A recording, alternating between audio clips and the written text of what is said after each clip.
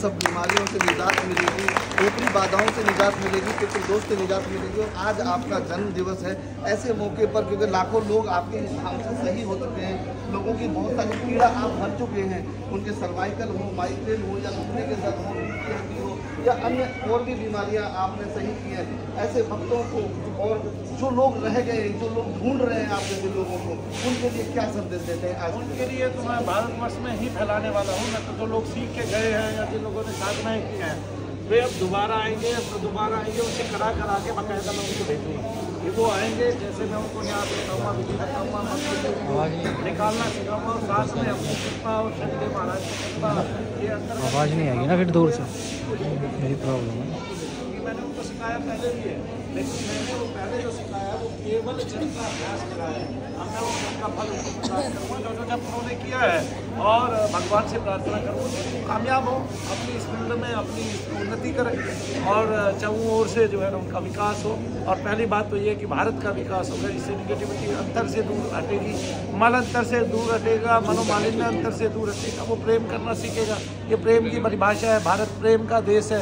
इसलिए विकास हुआ है, मैंने तो मुस्लिमों को भी कहते हुए सुना है कि अगर आप क्या समझते हैं कि हम तो बेशक उनके शत्रुत्व शत्रुवत हमने व्यवहार किया है आज तक लेकिन उन्होंने कभी भी हमें शत्रुवत व्यवहार नहीं किया हमारे साथ और भारत के लोगों ने हमें इतना प्रेम दिया है कुछ नहीं। आज आप देख भी सकते हो पाकिस्तान में जो है आ, क्या कहते हैं हिंदू लोग दुखी हैं जो पाकिस्तान की तरफ़ चले गए थे जबकि हिंदुस्तान में जो मुस्लिम पक्ष है वो इतना सुखी है इतना सुखी है उनके घर में क्या सुख सुविधाएँ नहीं है। तो जो हमें मिलता है, वो उनको भी मिलता है। जहाँ कहीं अनिति है ही नहीं भारतवर्ष में। आप देखते हैं कि जिस स्कूल में हम पढ़ते हैं, वहाँ कभी ये देखा ही नहीं जाता। कि ये हिंदू है, ये मुस्लिम है, इसका स्कूल में एडमिशन नहीं होगा।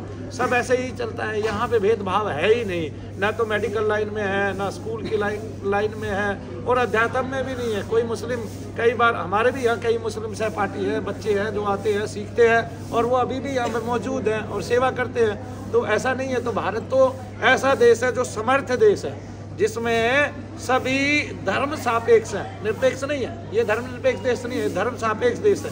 धर्म सापेक्ष का मतलब सभी धर्मों का स्वागत करने वाला जिसमें सब धर्म समाहित है और जो सब धर्मों को लेकर चलता है और सर्व धर्म के जो मुख्य मुख्य अंश है सबसे बड़ा तो एक ही बात है कि सभी धर्म का एक ही फल है कि मानव की सेवा करना। अगर आप मानव शरीर की सेवा कर लेते हैं तो आपको सारे धर्म हृदयंगत हो जाते हैं हृदयंगम हो जाते हैं। तब आपको जो है ना नई ऊर्जा प्राप्त होगी। जय शनिदेव। कहीं ना कहीं सन 2024 को अगर हम देखें तो ये शुरुआती महीना है, जनवरी का महीना है, इसी महीने में भारत के लिए बहुत सारी खुशियाँ कहीं ना कहीं आने लगी हैं, क्योंकि सर पाँच, साढ़े पाँच सौ सालों के बाद अयोध्या में श्री राम लला की प्राण प्रतिष्ठा की बात करें, या गुड़गांव में आज शनि धाम में महंत मनु भैया जी के जन्म दिवस की बात करें, या फिर अब आने वाले कल की बात करें, जो गणतंत्र दिवस है, क्या कहते हैं ऐसे देखिए, सभी सुरक्षित रहें, एक तो सभी सुरक्षा में भी रहें, और दूसरा बात ये है कि आप वैमनस्य को त्याग दें। अगर भारत में रह रहे हैं तो। अगर नहीं त्याग पाएँगे तो जो अभी नीतियाँ आने वाली हैं भारत में, और भारत की उन्नति में जो नीतियाँ सहायक होंगी, उसमें आप मात खा जाएँगे, और पता चलेगा तब आपको जिस समय सुख लेना चाहिए, उस समय आप जेलों में पड़े तो ऐसा काम ना करें, ऐसी अनीति ना करें, और ऐसा बाधा कभी भी अपनी तरफ़ से उत्पन्न ना करें। तो सबसे बड़ी बात यह सुरक्षित रहें, और राम राज्य को आने दें। देखें कोई आदमी मान लिया कह रहा है कोई व्यक्तित्व तो कह रहा है आपके बीच में आके कि मैं राम राज ला दूँगा तो भाई आपको भी आ, हम राज कर, करने के लिए देंगे। हमने इतना राज जो है दूसरों को करने के लिए दिया है यहाँ किसने राज नहीं किया है? यहाँ मुस्लिमों ने राज किया है मुगलों ने राज किया है यहाँ पे और ब्रिटिश ने राज किया है। तो जब इतने साल वो गुजार गए तो जो कह रहा है कि मैं राम राज ला दूँगा तो उसको भी हम मौका देंगे। क्यों नहीं देंगे? हो सकता है राम राज आ ही जाए। जब राम आ गए हैं तो राम राज की भी हम कामना करते हैं। और इसलिए हम जो है भारत के लोग, हिंदू लोग एकजुट होकर हम कोशिश करेंगे कि यहाँ पे राम राज ही आ सके। और हम स्वागत भी करते हैं उन नीतियों का जो भारतीय जनमानस को उठाए, जो ऊपर उठाए, और जो भारतीय जनमानस की रक्षा करे, और जो भारतीय जनमानस को सुंदर बनाए। और वो जनमानस, चाहे हिंदू हो, चाहे मुस्लिम हो, चाहे सिख हो, चाहे ईसाई हो, वो सबके हृदयंगम है। सबके हृदय में एक इष्ट रहता है। अगर कोई अल्लाह से जुड़ा है तो वो ये मानना चाहिए उसको कि हिंदुओं के अंतर हृदय में भी अल्लाह है। और जो भगवान से जुड़ा हुआ है विष्णु से जुड़ा हुआ है जो वैष्णव है उसको ये मानना चाहिए वैष्णव को शिव को शाक्त को शोर को और गाणपत्य को सबको ये मानना चाहिए। हमारा इष्ट सबके हृदय में निवास करता है। तभी भगवान की जो परिभाषा है वो सही मायनों में तभी पूर्ण हो सकेगी हो, हो सकेगी।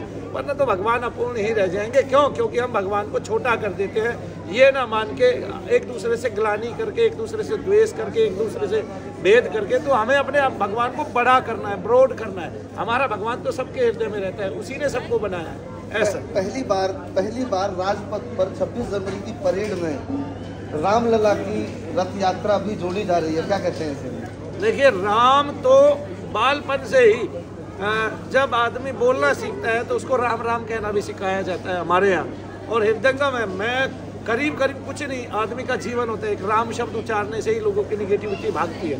मैं ये करके दिखा सकता हूँ और चाहे इसके लिए कोई भी आ जाए ठीक है कि नहीं? तो रामलला तो सबके हृदयंगम है पहले से ही ये भारतीय जनमानस है। या राम की कथा पे आ, भगवान शंकर ने सत्यम शिवम सुंदरम लिखा जब तुलसीदास जी ने रामायण का, जो है रामायण का ग्रंथ पूर्ण किया और फिर उसकी मंदिर में साक्षात परीक्षा ली वहाँ के मंदिरों के पंडितों ने, तब वहाँ पे भगवान का जो ग्रंथ है वो सबसे ऊपर हो गया और उस उसमें सत्यम शिवम सुंदरम भगवान ने ही शाही दे दी, यानी कि भगवान शंकर ही कह रहे हैं कि इससे सुंदर कोई ग्रंथ नहीं तो राम कथा से भी सुंदर कोई कथा नहीं और राम लला से भी सुंदर कोई लला नहीं, किसी का भी हो, चाहे वो, क्योंकि यशोदा का भी काला था, लेकिन राम तो जय शनिदेव।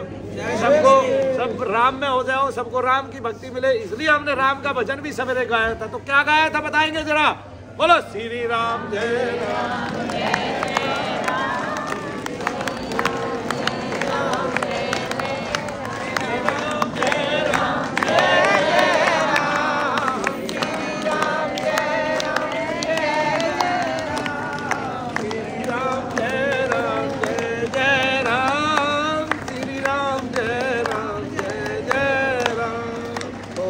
शंकर भगवान की जय। तो भक्तों आपने देखा कि आज का दिन